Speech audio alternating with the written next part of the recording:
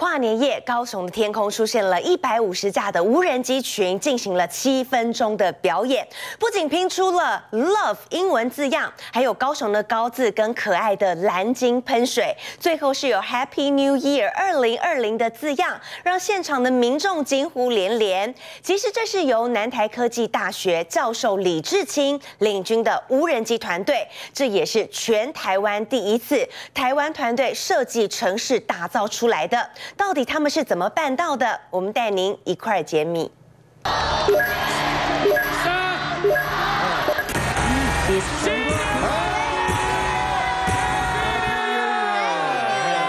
二零二零年的跨年夜，高雄越夜越美丽。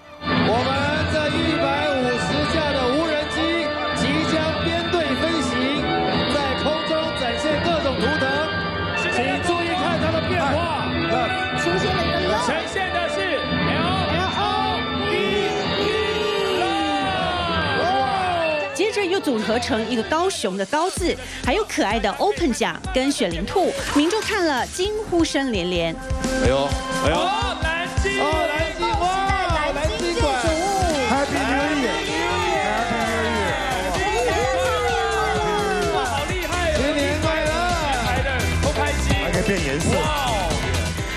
最夯的无人机群飞表演，一百五十架点亮高雄的夜空。不说你不敢相信，从机体组装、软体到图形编排设计，背后的团队全部 MIT。跨年是这个，跨年高雄，你看这些都是我们自己组装，然后这个是三 D 电影的。他是南台科技大学助理教授李志清，也是本土无人机团队台湾众一百的创办人，从小就有飞行梦。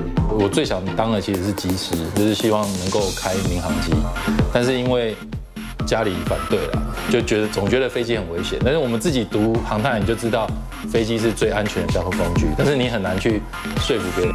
从此，他走进了校园，研究航太领域。那时候无人机不是多旋翼，是以固定翼的为主，就是像一般的飞机的形状。那我们那时候做了一台大概翼展，就是机翼的长度是三米六的飞机，那可以载四十公斤。机还曾被应用来协助环保局抓出偷排废水的不孝业者，成为抓污战将。李志清和团队设计出一套云端无人机飞行安全监控平台。我们有一次试飞，然后无人机就失控，就一一直飞走。飞走的第一件事情，大家骑摩托车到处找，找不到。那时候我们就开始在构想说，那我们是不是要加一些安全机制？所以我们那时候就想出了这个 Sky Sentry 这一套系统，就每一台飞机上面有一张 SIM 卡，让飞机可以随时连在网络上。那万一我的遥控器失控，就是被干扰了，飞机飞远的时候，我还可以透过这个通讯对飞机下指令，让它返航。在这个领域八年后，一场绚丽的表演吸引他的目光。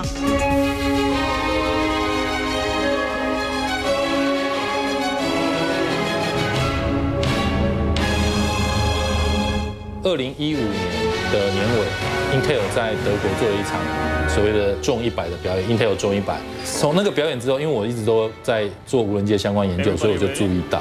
然后那时候，因为我们的 Sky Sentry 就是透过行动通讯去操控无人机，其实原理是类似的。二零一九年台湾灯会，Intel 团队还出动了三百架无人机，在夜空中排出了黑尾鱼和屏东字样。看着国外的无人机表演崭露头角，李志清早已跃跃欲试。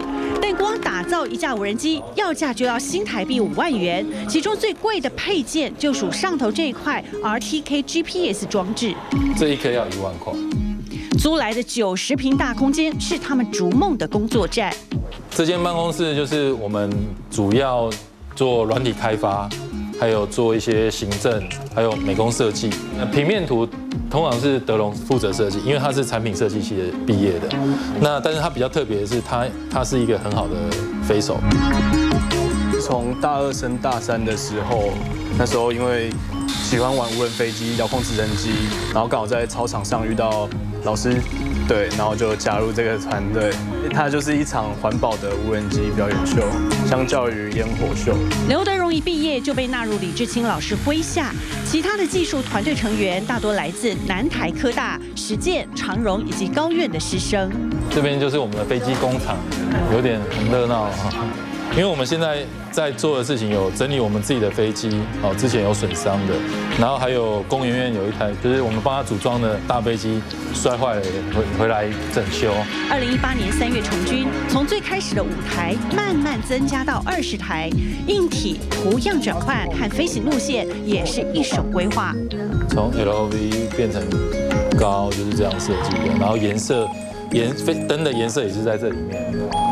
一切准备就绪之后，本土无人机团队原本预计二零一八年跨年夜在安平开启第一场群飞演出，但在表演前出现了一些问题。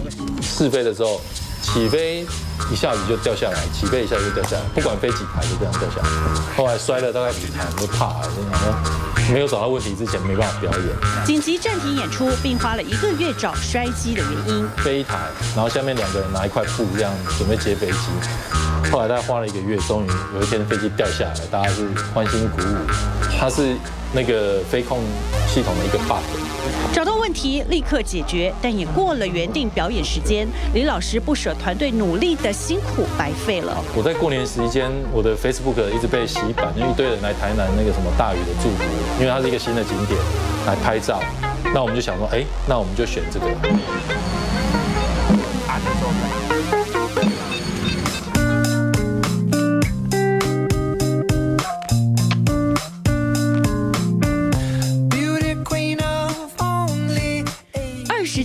人机飞越大鱼的祝福，在空中摆尾，它可以幻化成台湾，也幻化成一颗彩色的爱心。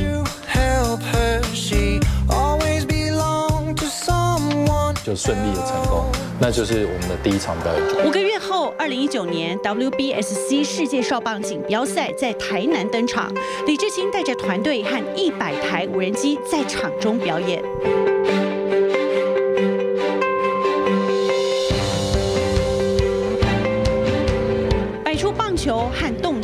挥棒之后，更在故宫南院夜空摆出了一颗翠玉白菜。呃，其实我们这样从去年二月到现在，应该有大概十五场左右。每个环节都得顾到，飞行范围也得设定清楚，否则就会像这样无人机群体脱逃的景象。因为它超出我们的范围，就是超出电子围里。电子围里设错了，等于说它超出电子围里，然后就被系统降它降落。啊，你看所有的右半边，你看都在右半边都不见了，啊，因为它降落了。对啊，对啊，就少了少了一些点，Y E A R 就不完整。这个什么声音才是 OK 的？最后那个噔噔噔那个声音，就是代表它开机的那个开机的动作完成。黑漆漆的空地上，只见机务员们微弱的光线一一摸黑检测。你好，我这边断电重开哦。这可关系着飞行安全。正常布点的话，通常都是一架，然后去，我们是抓整个表演起飞的那个矩阵的四个角落的那一架的位置。而主控站这头也一刻不得闲，三部电脑同步监测，因为它的数值乱跳，嗯，所以这边就会警告，然后讯息就会告诉你现在是是哪一台飞机有问题，然后赶快处理。解锁，